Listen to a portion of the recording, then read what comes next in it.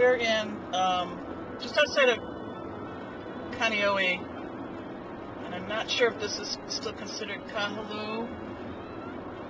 Um, in this area, it's kind of brackish backwater, but up in the mountains, the Ko'olau Mountains are where we went on a tour with the Board of Water Supply the other day, and it was really awesome. We hiked 1,500 feet back into the tunnels. They were built in the 50s. Oh, this is Waiahole. Sweet lady of Waiahole, sitting on the highway, selling her papayas. That's a song, and I'm not singing it very well. Um, so we're not quite into Kahaluu. It's, uh, you can see the architectural style is kind of plantation local. There is a boat harbor up here. Very few places to launch boats, to moor boats.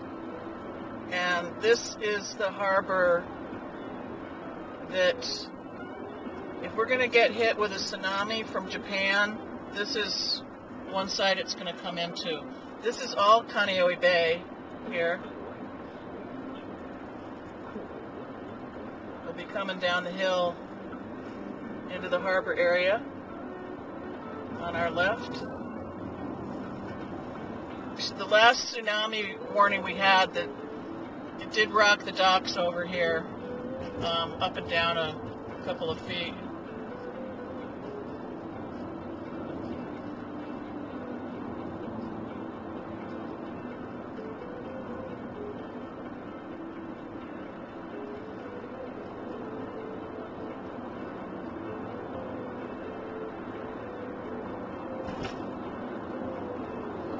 Lovely little harbor, Bay Area.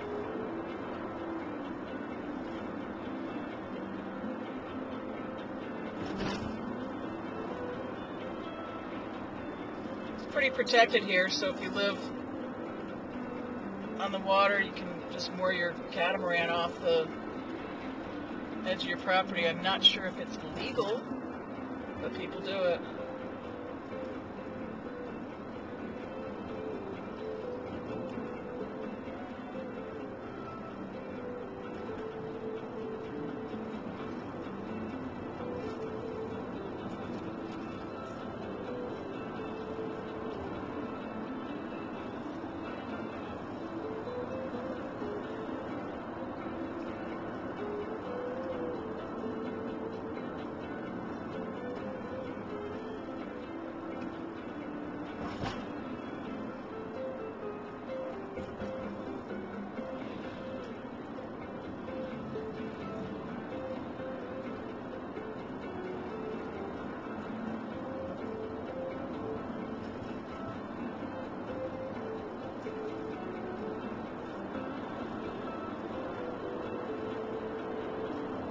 This is Kahaluu.